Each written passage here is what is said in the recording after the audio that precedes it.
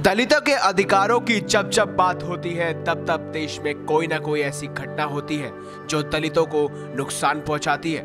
भीड़ तंत्र द्वारा दलितों पर अत्याचार होते हैं, मगर आज़ादी के समय से देखा जाए तो परत दर परत कई किस्से खुलते जाएँगे, जहाँ मानसिक रूप से कठोर दलितों ने देश में कई कुर्बानियाँ दी हैं।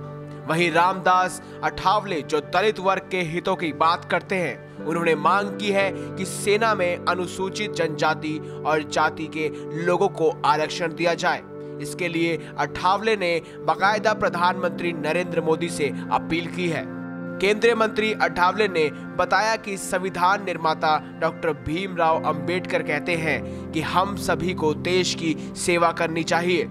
इसके आगे उन्होंने सभी नौजवानों से भारतीय सेना ज्वाइन कर देश की सेवा करने की बात की। अब हो न हो दलितों को सेना में भर्ती होने के लिए आरक्षण देने की बात की जा रही है। क्या पता आने वाले समय में चमार रेजिमेंट को वापसी सेना में पहचान दी जाए? अब आप सोच रहे होंगे कि चमार रेजिमेंट आखिर है क्या? दरअसल द्वितीय विश्व युद्ध के समय अंग्रेज़ सरकार ने थल सेना में चमार रेजिमेंट बनाई थी। जो 1943 से 1946 तक अस्तित्व में रही। दलितों के कल्याण से जुड़े संगठनों और जाटव का दावा है कि वीर चमार रेजिमेंट को अंग्रेज़ों ने प्रतिबंधित कर दिया था। अंग्रेज़ों ने चमार रेजिमेंट को आज़ाद हिंद फौज से मुकाबला करने के लिए सिंगापुर भेजा। इस रेजिमेंट का नेतृत्व कैप्टन मोहनलाल कुरिल ने किया था।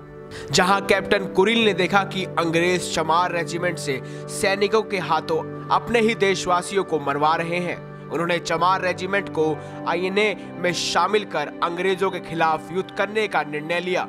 इसके बाद अंग्रेज़ों ने 1946 में चमार रेजिमेंट पर प्रतिबंध लगा दिया। अंग्रेज़ों से युद्ध के दौरान चमार रेजिमेंट के सैकड़ों सैनिक ने अपने प्राणों की आहुति दी।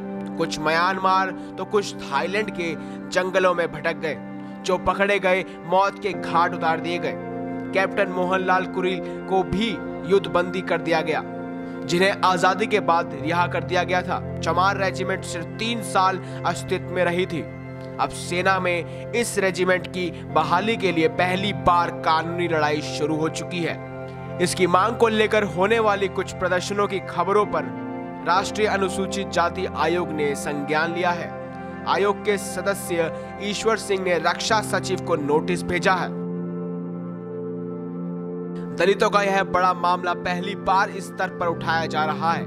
ईश्वर सिंह ने मीडिया से बातचीत में कहा कि आज ही सरकार को नोटिस भेजकर जवाब मांगा गया है। आखिर इस रेजिमेंट को किन कारणों से बंद किया गया? आपको यह भी बता दें कि चमार रेजिमेंट और उसके बहादुर सैनिकों के विद्रोह की कहानी, उन्हीं की जुबानी नामक किताब के लेखक सतराम सिंह जेएनयू के इस रेजिमेंट पर शोध कर रहे हैं। सिंह ने मीडिया से बातचीत में बताया कि इस रेजिमेंट के तीन सैनिक अभी भी ज़िंदा हैं। इसके सैनिक रहे चुन्नीलाल हरियाणा के महेंद्रगढ़, जोगीराम भिवानी और धर्म सिंह सोनीपत के रहने वाले हैं। तीन माह पहले जेएनयू के मॉडर्न हिस्ट्री डिपार्टमेंट में रजिस्ट्रेशन हुआ है। इसका विषय ब्रिटिश कालीन भारतीय सेना की संरचना में चमार रेजिमेंट पर एक ऐतिहासिक अध्ययन है। यह रेजिमेंट भी उतनी ही बड़ी थी जितनी और जातियों के नाम पर बनी रेजिमेंट है।